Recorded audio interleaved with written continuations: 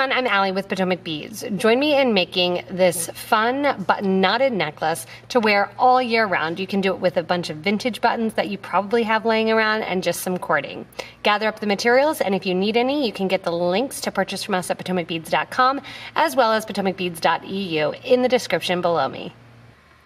So the first thing we're gonna do to get this video started and to do the necklace is have some wax linen cording. Now I have 13 total feet of wax linen cording and I cut it into two pieces, so about six and a half feet to seven feet for each piece. I then doubled over the cord and I have this fun clasp that is a pearl clasp or a pearl shortener called a clip clasp. And it has two links and then it has this that opens and closes. You can either knot directly onto the clip clasp or tie a loop. I'm gonna take advantage of the loops that I do have and I'm gonna put it through the loop and then put the loop through it. Tying it on double then, that's gonna take and do that little half hitch knot take the threads over both ways, and now I have four pieces of my wax linen cording hanging down from the clasp. When I go into the clasp then I'll simply clasp it on for a nice finished end. On the other side, I will do the same thing and connect to the other way. What you need to figure out now is exactly where you want your buttons to start. And wherever you want your buttons to start and wherever you wanna have your thread, you can see kind of me holding them up here. I'm gonna have my buttons start down at about six inches after the thread. Taking both or all four threads, I'm gonna do an overhand knot with that cord coming through and not all of the ends. That's gonna be my main knot that's gonna allow these four cords then to separate and stop my buttons from moving up and down along the design. I have a collection here of my cut buttons and then we also have our silver spacers, be it round or irregular, and we're gonna be begin one strand at a time, adding on our buttons as well as our silver beads. So here I have my first bead on my cord. So I separated those first four cords and I'm gonna put one of my antique silver beads on let it drop down just a little tiny bit. Untie a knot to hold it in place.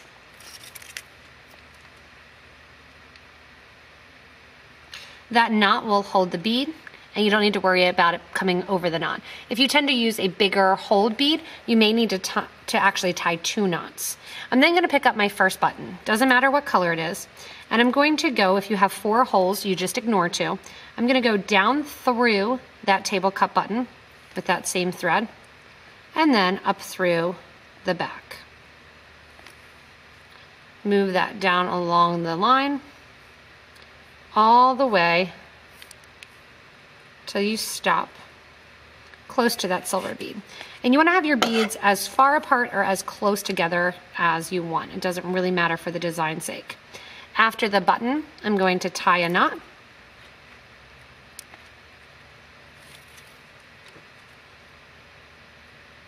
leaving just a little bit of space after the button laying flat. Add on my next silver bead.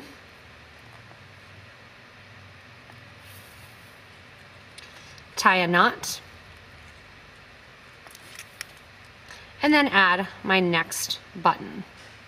So the buttons are gonna work as spacers with the silver beads as the connection point and the pattern will change along the design. So after you're done stringing on and, and uh, adding in your first row of buttons, you're going to start on the second row. It's nice to lay the first row next to the second so you make sure that you don't have the exact same colors anywhere right across from one another. It's also nice to make a variety and to kind of vary up the different beads that you may have so you don't have the silver right next to one another as well. When designing and making this project, you can also throw in other beads and other buttons, not just those table cut buttons.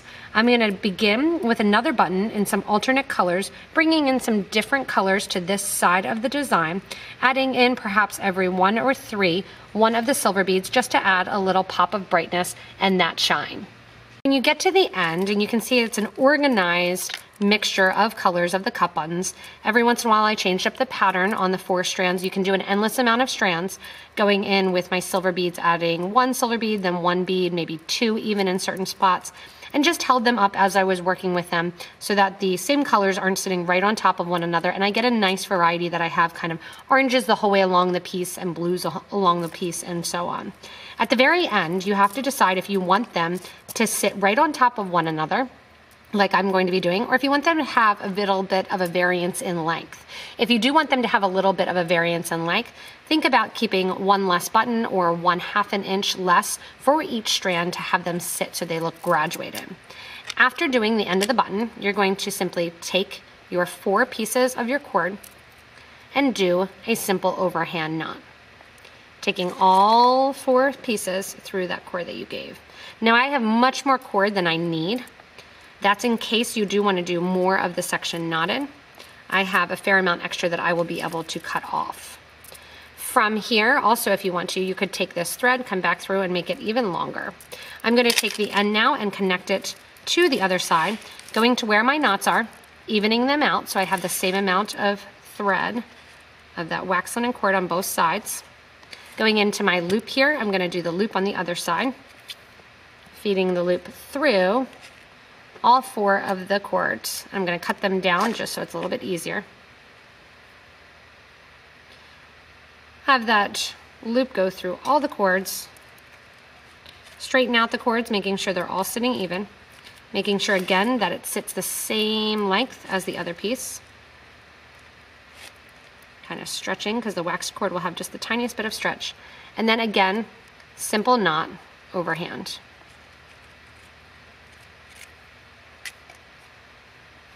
Bring that knot down and give a nice tight pull.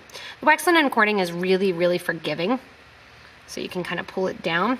If you want to, you can drop a dab of glue there. And then you have your clip that's gonna clip one side to the other side. Again, if you want to also, you can just do loops on this end and you'll be able to connect in that way.